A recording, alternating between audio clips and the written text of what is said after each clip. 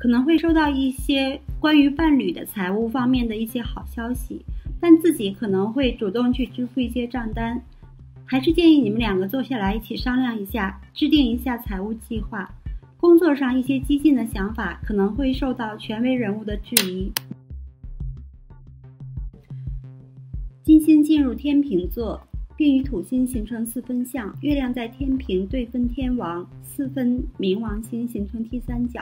冥王星为端点行星，太阳和水星慢慢的靠在一起，合相在天蝎。以上带给我们的感受是在建立关系时会强调对等、和谐与公平，并用优雅的方式展示出关系中的美丽和价值。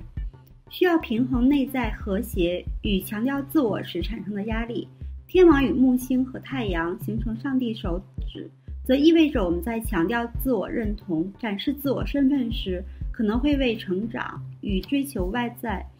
产生压力，并带来挫败感。